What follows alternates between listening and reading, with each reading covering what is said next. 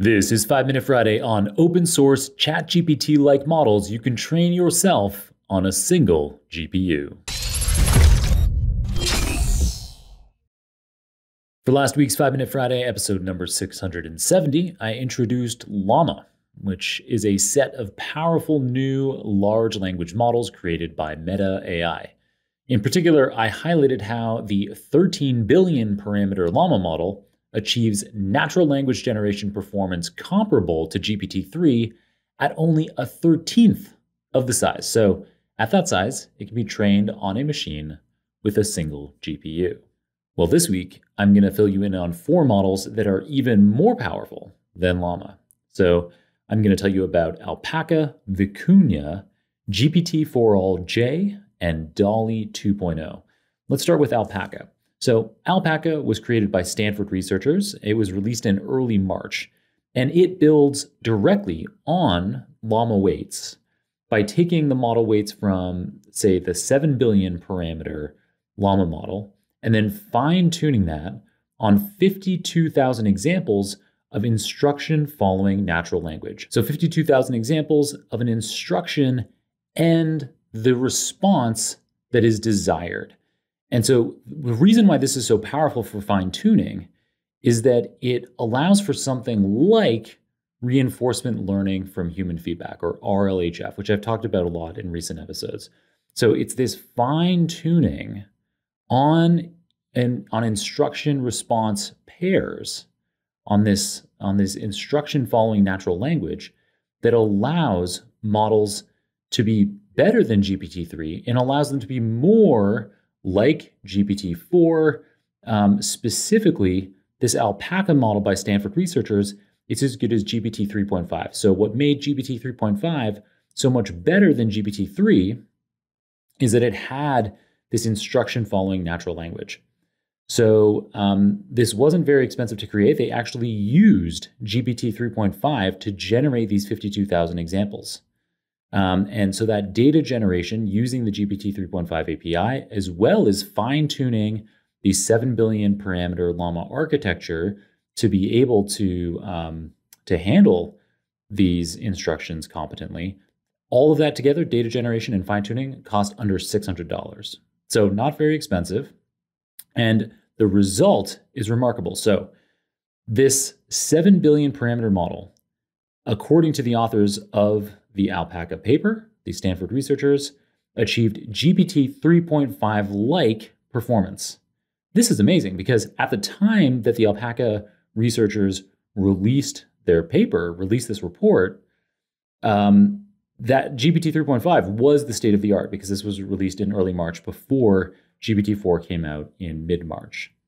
So it's half the size of the Llama architecture I got you excited about last week at just 7 billion parameters, and performs in a GPT 3.5 like way, which is a big, big improvement over GPT 3.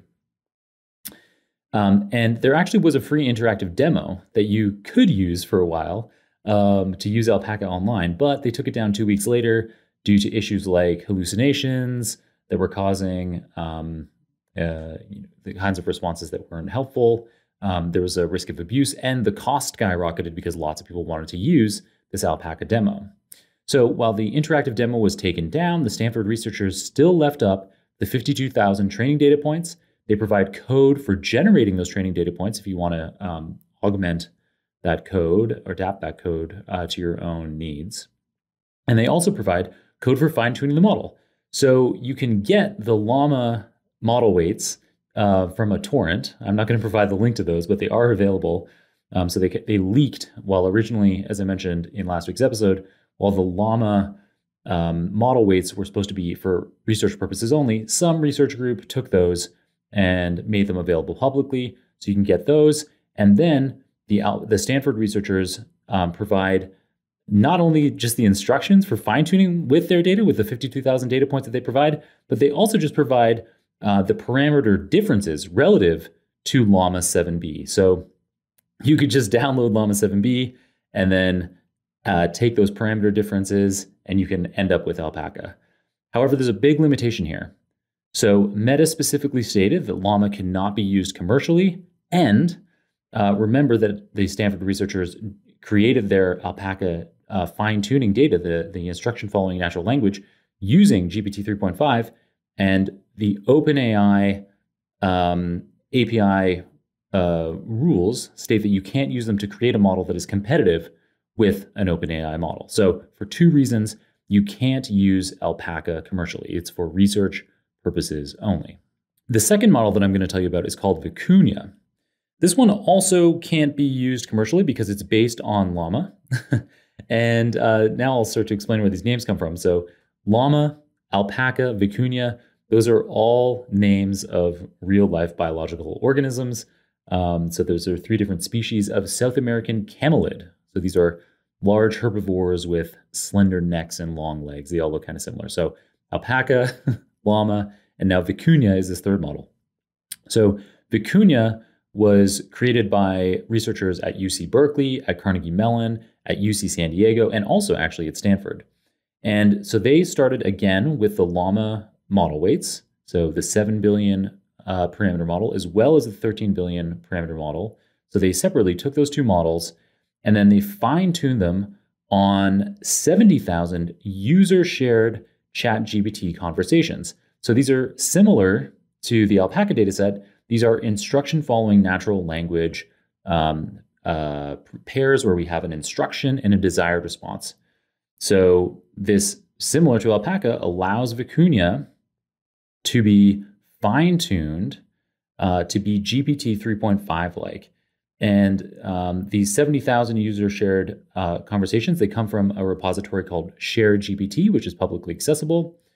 Um, and so uh, the difference here is that Vicuña is using these um, user generated conversations, whereas Alpaca was using GPT 3.5 generated um, natural language prompts. What's really interesting about the Vicuña model is the way that the researchers tested it. So while Alpaca was simply, the authors of that paper simply said, we, we looked at a lot of different results and those results were similar to GPT 3.5, therefore it's comparable. With Vicuña, they went a step further. So Vicuña was released in late March. Um, and so this was shortly after GPT 4 came out in mid March. And GPT 4 is capable, it's just so powerful, as I've talked about in recent episodes. It's capable of so many remarkable things. And so what they did was they compared the results of uh, the, their own model of Vicuña with results from other um, state of the art uh, ChatGPT like models. So, ChatGPT itself running GPT 3.5, Google's Bard architecture, Llama 13, and Alpaca 13. Um, so, they compared with all these different architectures. And I'm actually have provided for you in the show notes a link for you to look at comparisons yourself. But as a simple example, if the question, if the prompt that they provided to um, the large language model was compose an, an engaging travel blog post about a recent trip to Hawaii, when um, they, they would ask two models to output the results, so their own model Vicuña, as well as the, one of the comparison models. So it could be ChatGPT, could be Bard, could be Llama, could be Alpaca. And then they ask GPT-4 to evaluate those two different results and to provide a score out of 10 as to how the model did at this task. And so there's lots of cool examples. So you'll see for the, the default example when you go to the Vicuña page that I provided in the show notes is showing Alpaca 13 outputting a short blog post. It's more of a summary of a blog post, while Vicuña generates this big blog post. And then the GPT-4 evaluation gives Alpaca a 7 out of 10. It gives Vicuña a 10 out of 10 and it explains why it gave those differences. It's really cool. And so, while it's not super scientific to use GPT-4 to do this, I think it's a really cool way of evaluating the model, and it shows you another really cool use case for GPT-4. And the results of this show unequivocally, uh, although again not super scientifically, that Vicuña is clearly superior to Llama and Alpaca, and it's even competitive to Bard and to ChatGPT running GPT 3.5. So, very powerful model Vicuña. And again, it did not cost very much to train. So the 7 billion parameter Vicuña model cost just $140 to train. The data were available freely already from ShareGPT. The 13 billion parameter model cost just $300 to train. The problem with Vicuña is that, like Alpaca, it is based on Llama model weights. So while the fine tuning data from ShareGPT are publicly available, you can use them for any purpose, including commercial purposes, because, Alp- because Vicuña, like Alpaca, is based on Llama model weights, you, you can't use it commercially. However, just a few days ago, and I don't mean a few days ago relative to when I recorded this Five Minute Friday episode. I mean a few days ago relative to when you could possibly be hearing this episode on the release date. Um, a company called Nomic AI, which describes itself as a small information cartography company. Uh, it's super small. I can only find five employees of Nomic AI on LinkedIn. They released just days ago a model called GPT-4All-J. So in this case, they did not use the Llama model weights to start.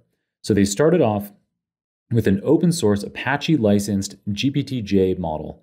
This is a 6 billion parameter model that was created by Eleuther AI. This is a nonprofit AI research group, and they created this 6 billion parameter GPT-J model to be freely available, permissively available, including for commercial use. So that was the starting point. And so that would have given approximately GPT-3 like outputs. So that would have been comparable to the Llama architecture that I talked about last week. Then, in order to fine tune it to be more GPT 3.5 like or more GPT 4 like in its capacity to um, anticipate what humans are looking for when they provide instructions, they used an 800,000 instruction and response um, data source that they created themselves. So that com- for comparison, Alpaca was using just 52,000 examples. Vicuña was using uh, 70,000 examples. So this is way more data, an order of magnitude more instruction response data for fine tuning. Um, and they detail all of the various sources that they used um, in their technical report, which I've provided in the show notes. But the key point here is that it's 800,000 of these instruction response natural language pairs. Um, and all of those data sources that they used were publicly available. So this means that the entirety of GPT-4All-J, the original uh, weights, model weights, as well as the data that we use for fine tuning, are uh, publicly available, open source. And so Nomic AI also made GPT-4All-J uh, available with a commercial use Apache license. Um, and in addition to that license uh, and the model weights, they also provide their data curation procedure, they provide their training code, they provide a quantized four bit version of their model. So this means quantized means that um, we uh, reduce the size of the data type um, so that it doesn't take up very much space. And this allows the GPT-4All-J model to be fit onto a good laptop CPU, for example, like an M1 MacBook laptop. And so this means that you can uh, probably not train um, with any reasonable speed, but at least you can use um, GPT-4All-J, this quantized 4-bit version, for inference, for generating um, uh, results, for conversing with in a ChatGPT-like way on a standard modern laptop. That's really cool. Um, they say that it cost about $6,000 to train this GPT-4All-J model. Um, and because this is brand new, uh, just released a few days ago, it hasn't been value- evaluated as thoroughly as Vicuña, but it appears to perform comparably to the Llama and Alpaca um, architectures that I've already talked about. So I couldn't find anything of it compared to Vicuña. It's possible that Vicuña outperforms it, just like Vicuña outperforms Llama and Alpaca, but GPT-4All-J is available for commercial use. Um, another architecture released just a couple of days before GPT-4All-J that deserves honorable mention is Dolly 2.0. So this was released by the database giant Databricks, and this Dolly 2.0 model is based on another model from Eleuther, AI. So the GPT-J model the GPT-4All-J is based on, that was also from Eleuther AI. Um, the one for Dolly 2.0 was a bit bigger. So they, there was a 6 billion parameter model used for GPT-4All-J. For Dolly 2.0, it was a 12 billion parameter model, but again, completely open source. Um, and this one, Dolly 2.0, was fine tuned on 15,000 human generated instruction response pairs created by Databricks employees. And again, these 15,000 prompts um, are publicly available. They are available open source from Databricks. And so this Dolly 2.0 model, like GPT-4All-J, commercial use is okay. However, again, because it's brand new, there was little evaluation data that I could find available at the time of recording this episode, but this provides you with another exciting option to explore. All right, so the reason why this should be so exciting is because in this Five Minute Friday episode, which ended up being uh, much longer than five minutes, but I had a lot to tell you, and um, it, it what I've told you about is these open source ChatGPT like large language models that you can fine tune yourself on a single GPU, say using your own proprietary data. And this enables you to economically train and run in production, maybe for just a few hundred dollars or a few thousand dollars. You can train models and then run in production your own ChatGPT like natural language generation model that can handle proprietary use cases for your users. This is huge. What a terrifically exciting time to be a data scientist. All right, that's it for today. Until next time, keep on rocking it out there, folks, and I'm looking forward to enjoying another round of the Super Data Science Podcast with you very soon.